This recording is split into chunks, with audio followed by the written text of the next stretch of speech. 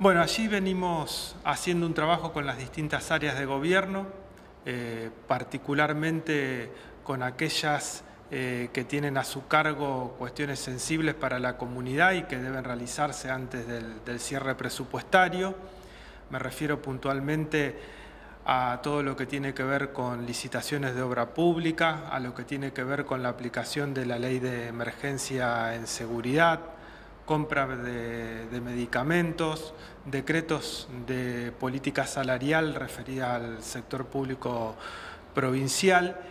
y por la evolución que venimos viendo que tienen las gestiones, estamos en condiciones eh, de confirmar que eh, la provincia de Santa Fe va a tener asueto el día 30 de, diciembre. Esto ya viene dispuesto por una, por una norma legal, eh, de manera tal que con este anuncio lo que estamos haciendo es eh, ratificar lo que se había ordenado oportunamente. Básicamente el trabajo consistió en hacer un relevamiento área por área de estas, de estas gestiones que, estamos conversando,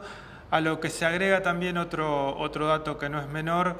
eh, y que refiere a que también en el Poder Judicial, que es otro de los poderes que trabaja en forma muy, muy relacionada con el Ejecutivo, también van a tener un, asueto el día 30, eh, de manera tal que, eh, viendo esta situación y la evolución, decía, de las, de las gestiones que tienen que eh, indefectiblemente cerrarse antes del vencimiento del año presupuestario,